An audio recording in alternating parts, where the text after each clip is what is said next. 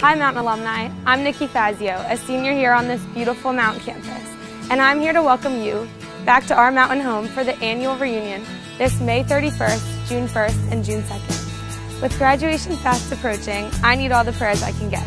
So where's that one spot on campus where we go when we need prayers the most? Up that breathtaking, literally, flight of stairs to the grotto of Our Lady of Lourdes. Now before we head up there, I'm just going to have a sip of that refreshing spring water that flows straight in front of Paris.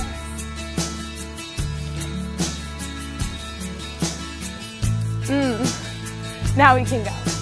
Do you remember hearing the Campanile bells chime as you walk to class in the AC? Or the Golden Mary statue that can be seen from miles up Route 15? Or even the spiritual and holy atmosphere that can be found here at the grotto? These sounds and feelings are only found here at the mountain. There is no better view than this as I stand in front of our brand new Richard and Mary Lee Miller Family Visitor Center. This cross was made from a cedar tree that miraculously missed our Blessed Mother statue during Hurricane Sandy. But that's just one of the many miracle stories told in this spiritual place.